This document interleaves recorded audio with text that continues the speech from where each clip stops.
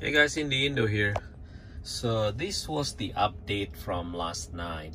Uh, today is Saturday the 25th. The uh, park assist. So I basically just pull into my driveway.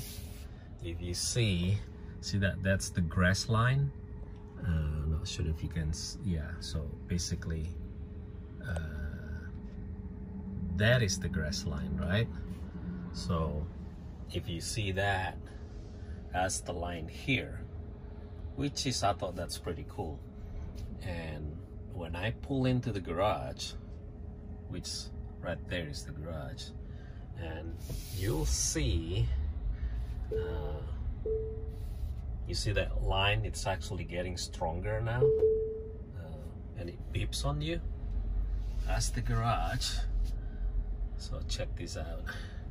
So when I go in, it basically show you uh, that's the only size I have. Look at in feet, uh, inches, 31 inches. That's not a car. So when I pull in, it start giving you, it start giving you the layout. Uh, see that corner on the left? I don't know why it's a, it shows it's a basically have a wall there but earlier was showing like like semi a truck.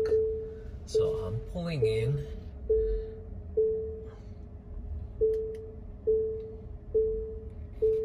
Keep on beeping keep on beeping. That's basically my other car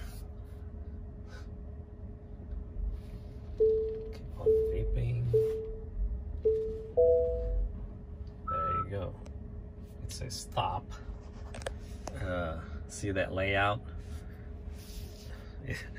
Don't know why the line is crooked now. I'm going to back up now. Just the camera. Uh, left, right, in the middle. I just want to straighten up the car.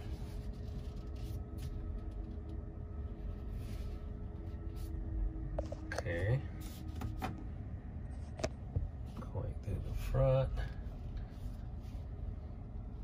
By the way, that's the Tesla charger.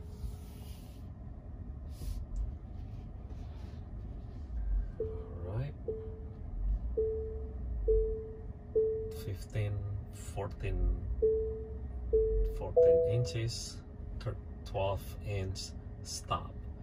So, uh, and when it goes to 13 or 12 inch it's right where I put that ball hit the windows the windshield. So it's pretty accurate.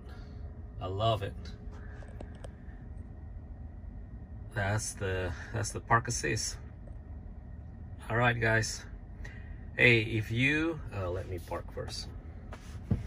I guess I have never asked this. If you have not uh, subscribed to my channel I'm just the beginner here, but I'm gonna start doing all this Tesla feature.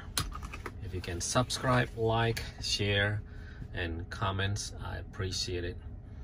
All right, guys, ciao.